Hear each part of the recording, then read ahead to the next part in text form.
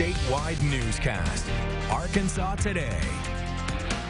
Although it may look intimidating with its long row of teeth, alligator gar live quietly in some of Arkansas's big rivers and backwaters. Our friend Kirsten wild woman, joins us from Game and Fish to tell us about these gar, which can be huge. You said up to 300 pounds. they are the biggest fish in Arkansas, so that alone makes them cool. They can be over eight feet long, weigh more than 300 pounds. Wow. So that's a massive fish.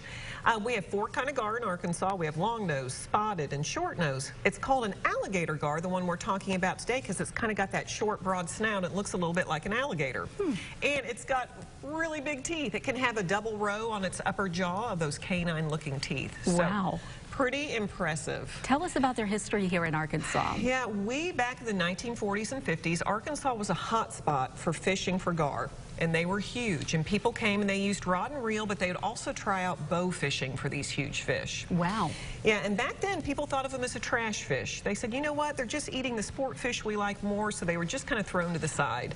Hmm. Uh, now we know how important a top predator is. They keep other wildlife populations in check. And we know now that gar eat more rough fish, uh, carp and shad and buffalo and that sort of thing. Well, I just so. learned our director, Steve, in the control room says his wife caught one this weekend. Is that right, Steve? Oh, wow. How big was it, Steve? It was a baby. It, it was, a baby, baby. but pretty impressive. It is pretty impressive. You can see them on some of our bigger rivers, the Arkansas, the Mississippi, the white, the red. And when I say see them, you can see them sometimes. You hmm. know, they breathe through gills like a regular fish, but what's interesting is they can come up to the surface and gulp air.